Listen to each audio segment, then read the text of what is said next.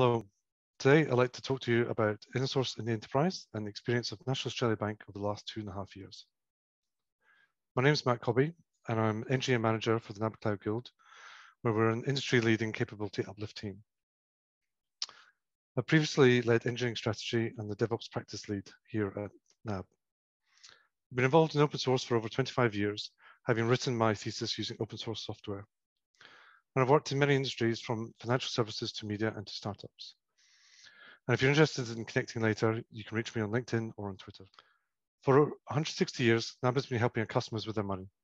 Today, we have more than 30,000 colleagues, serving 9 million customers at over 900 locations throughout Australia, New Zealand, and around the world. NAB is Australia's largest business bank, and we build relationships with small, medium enterprises and large businesses to help them start, run, and grow. NAB is a relationship-led bank, and we exist to serve customers well and help our communities prosper. It is that commitment to communities that has led us to InnerSource. As a 160-year-old bank, like so many other banks, we are in the process of becoming a digital native bank, but it's not without its challenges. We started our transformation in 2017 to simplify our business and home lending, invest in bankers, simplify our processes, and uplift our technology to improve the customer experience. We're improving resilience via insourcing and migration of apps to the cloud. And we're halfway through our cloud migration. Over the last three and a half years, we've run over 7,000 training places to uplift cloud and engineering skills. And in 2019, we created our NAB Engineering Foundations to simplify our engineering practices and remove the undifferentiated heavy lifting of teams so they can focus on the customer value adding work. This led to some challenges. Um, we're faced with the rapid enablement of teams on cloud. Now, we migrated Australia's first highly confidential banking workload to public cloud in 2016, and we enabled teams to move rapidly and take control of their own outcomes. But this led to duplication of tooling, and there was a need to reduce the cost per workload to scale faster. And it was in this situation that um, I found myself looking for a tool to automate AWS credentials setup, and I found 20 different versions of the same tool across GitHub. Some were supported and some weren't, and some were uh, fully functioning and some were less than perfect. And I felt that this was definitely one of these places where we were not being as efficient as we could be. And I felt that the techniques of open source development could help us improve. And with the introduction of our NAB Engineering Foundations, um, we wanted to introduce the voice of the customer into these opinionated solutions. We wanted to make sure that these solutions met our customer needs. And the best way to do that was to have, again, use these open source development techniques. Being a bank, we also had challenges around governance, risk, and compliance. Um, we're heavily regulated and regulated in multiple countries, and we've got concerns around security and architectural endorsement.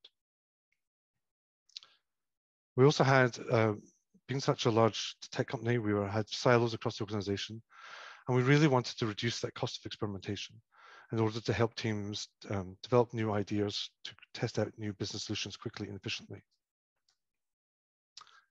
So this led to inner source. This is our definition of inner source. And for us, it's much more than just a shared code base. It's everything we need to be a high performing team, code, skills, and knowledge. By publishing code and knowledge in the open, we encourage people to talk across their respective silos and we share work. And this allows us to focus on business outcomes and not this undifferentiated heavy lifting that we all have to reinvent. Now, within our source, we created a, an operating model. We set out with the mission of developing a high quality software. With hundreds of dev teams across the organization, all working in their own way, we focused on the interfaces between teams and not the individual team's way of working.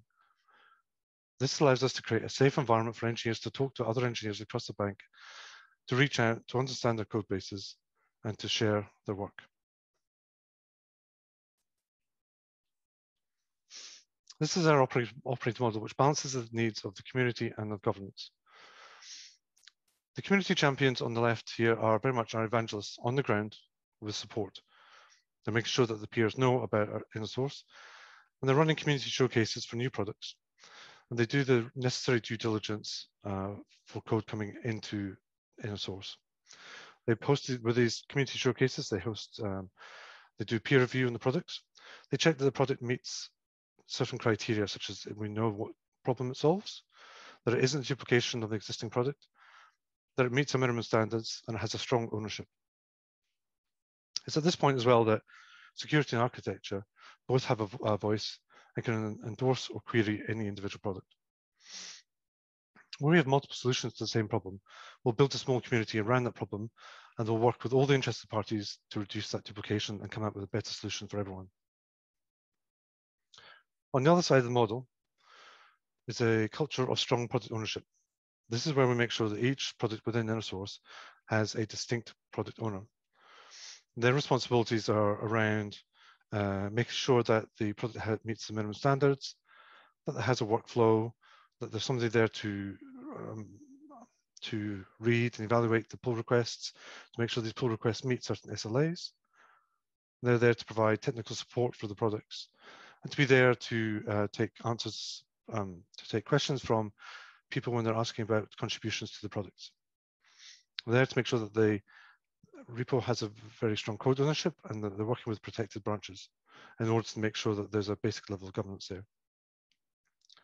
We also provide these uh, product owners with a playbook in order to help them InnerSource their own platforms and their own products.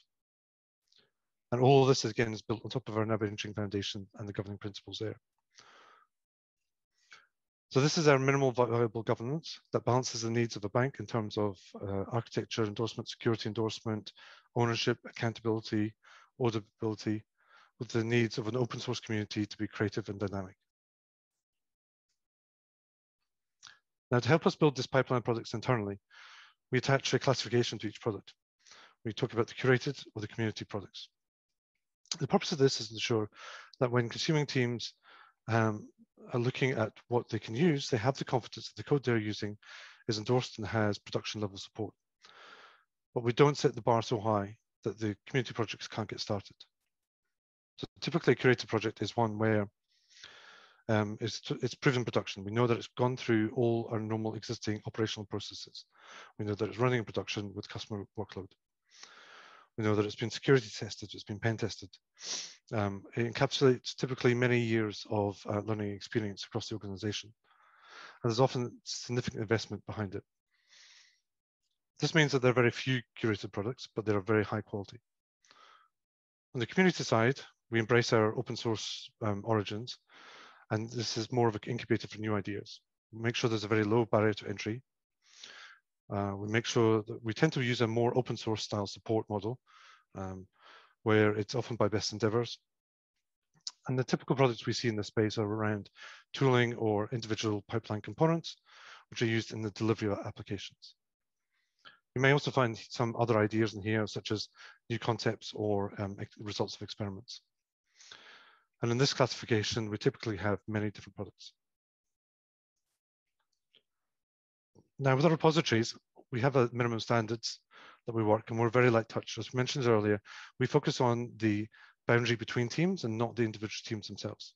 We don't specify how teams work or what their individual workflows are. What we're doing here is to create a safe place for teams to reach out and to work on other teams' uh, repositories and in a clear, consistent way. To do this, we make sure that every um, InnerSource repository and every InnerSource project has a README that makes it very clear what the project is doing and what problem it's solving. We make sure the code owners is maintained and up to date so that external developers know who to talk to when they have a question. There's a contributing guide so that when you want to make a change, there's a very clear path for you to do so. And a code of conduct to make sure that you know the acceptable behaviors for the team. We also recommend the, all the products work with a further set of metadata templates around standardizing workflow for pull requests and issues, and they offer just a much more consistent experience. There's been a number of years with InnerSource here at NAB, so we can talk about some of the learnings and benefits that we're seeing. As you all know, and you've been familiar with InnerSource, collaboration is one of the main reasons we do this. Uh, when we write code in the open, we tend to write better code. When we have the ability to read another team's repository, we have the ability to remove bottlenecks. If a team, if you're dependent upon a team and they can't implement your change, you have the ability to make the change yourself and get it accepted into the into the core product. We're then also breaking down the silos of the organization and help learning from one area be applied into different areas.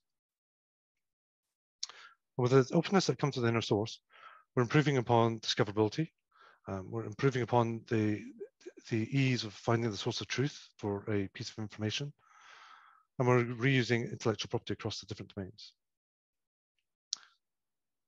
Inner source has also brought us some unexpected benefits around mentorship, cross-skilling and learning. Um, we found through some of the inner source hackathons that we ran that we had senior engineers mentoring junior engineers. We found front-end developers learning how to be API developers. We've had back-end business service developers learning how to be front-end React developers. Um, this is one of the real unexpected benefits from inner source and something which has given us probably far more return on investment than we ever expected. And one of the main benefits to, for us is this cross-skilling of people across the organization. And with trans transparency, um, everything's in the open. Uh, we peer review each other's work. Our discussions are in the open. So in the future, we can always find out why a certain architectural decision was made or why this decision was made not to use a particular technology. We're also working with GitHub on uh, automating some of our metrics for in, source. Uh, we're looking at the number of people collaborating across teams. We're looking at things such as product reuse. We have automation that tells us, that scans GitHub for dependency management and tells us how many reuses of an individual library that we're seeing. We can then quantify, quantify that library reuse into financial terms in terms of um, how much it costs to develop and then how many times it's been reused.